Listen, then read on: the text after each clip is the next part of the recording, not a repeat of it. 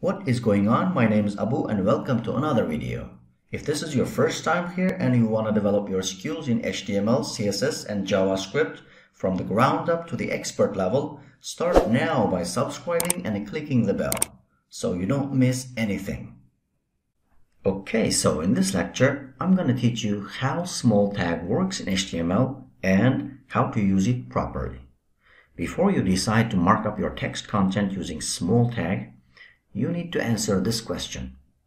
Do you want to add side notes in your text content? If yes, then you can use small tag.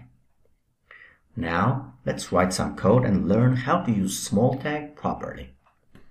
Here I opened up the HTML document I created for this lecture using Visual Studio Code. Starting from line 13, I marked up one short article about reading.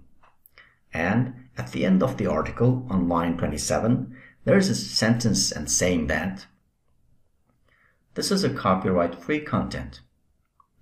It is clear that this is a side note to the reader of this article about the copyright. Currently, it's just marked up using paragraph element like the article text content. So it will be looks the same with the article text content.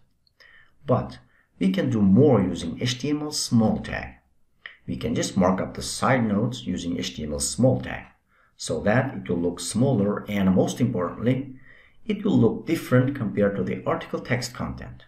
So let's do that.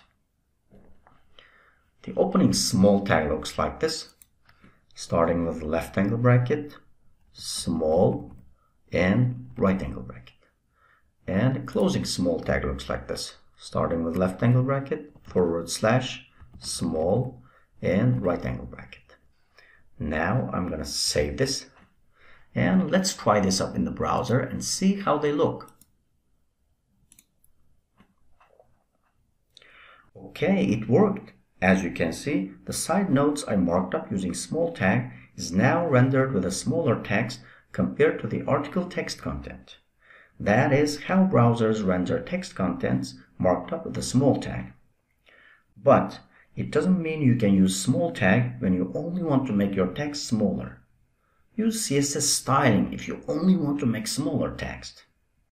Now, if you started learning HTML and you want to master when and how to use every different HTML tag, make sure you check out this playlist and it has everything you need to master different HTML tags.